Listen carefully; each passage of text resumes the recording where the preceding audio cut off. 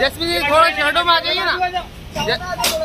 Jasmine जी शर्टों में भाई gate बंद कर दो ना पीछे से। थोड़ा थोड़ा पीछे जाइए ना।